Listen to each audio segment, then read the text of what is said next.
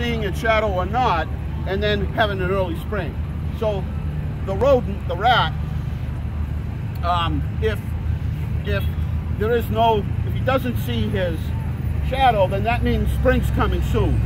For us, we, we, could you show a picture of the rat? This is what the rat looks like. Now that's a glorified version of the rat.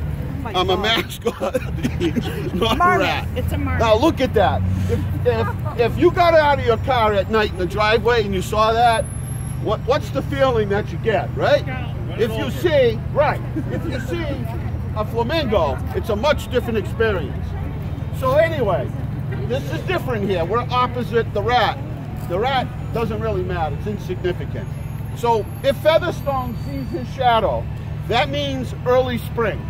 So in just a couple of minutes, we're gonna get a chance to see whether or not the flamingo. Notice we have two flamingos, very family oriented here in the city. And so uh, gender, uh, gender neutral. so um, both are here today and we are very excited. It's a beautiful morning. It's actually warmer.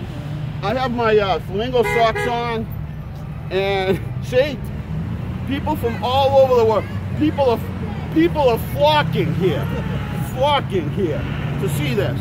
Every year the crowd gets bigger. Nobody has to rent a hotel room to stay overnight to watch the rat come out of the hole.